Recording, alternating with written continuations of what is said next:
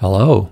Just a very quick demonstration what you can expect when you upgrade your traditional Flash or Animate build to a smart magnet rig. First of all, all the default tools work as expected, so no changes there. If you just choose the Q tool, you can proceed the way you have always done it. You can select groups of elements, move the transformation point and modify them.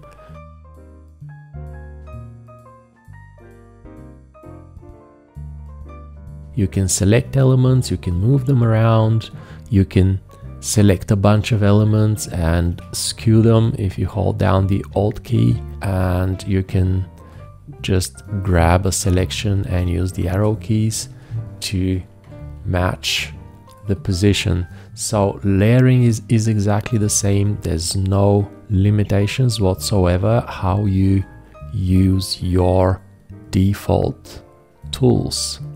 So for the moment, I'm just using the free transform tool just the way Flash animators have used it for years.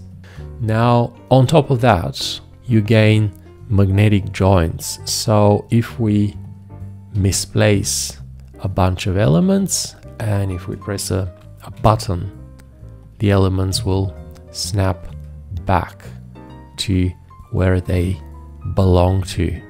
So if I go one which chain selects all the children and press tilde the elements will just assemble. So whenever you need it you can use the magnetic joints on top of that, you have chain selection up and down the chain.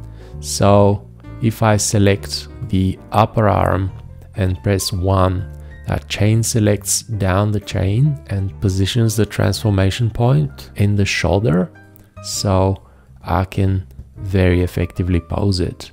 If I select this element here, the lower arm, and press 1, it chain selects down so that you can manipulate just these two elements.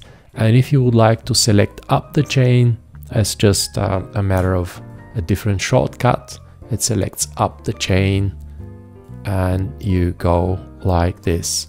It can even do a selection like this, where we go up and down and we can manipulate the elements just like this. The last thing that I would like to show you is Kineflex, where we have soft rotation. Looks like this, like this. If we hold down shift, we can move whole chains.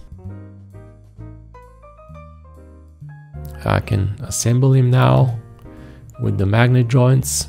And on top of that, we have hard rotation, which keeps the chains rigid. And Kineflex works in a way so that it just takes the location and the position of the elements the way they are upon mouse down. So it doesn't really force you to always keep your character assembled, it will work regardless. So you have all the flexibility of a traditional build when where you can move your elements and modify them with your traditional tools. But then when you switch to one of the smart magnet rig tools, you can start manipulating the character as if he has a virtual on-the-fly skeleton. And finally, you can clean up your tweens and make your symbols move along arcs. I'll just demonstrate this with um, an arm here. You know how, how typically the elements break during classic tweens. You can see in the middle, in the middle here, these elements uh, do not tween along an arc.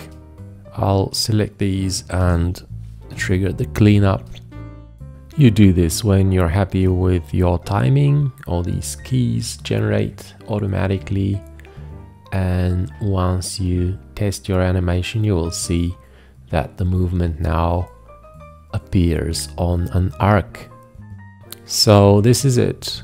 You don't have to change anything in the way you manipulate your characters with the out-of-the-box tools, but on top of that you gain a lot more precision and control with the smart magnet rig tools. So welcome aboard and enjoy the power of smart magnet rigs.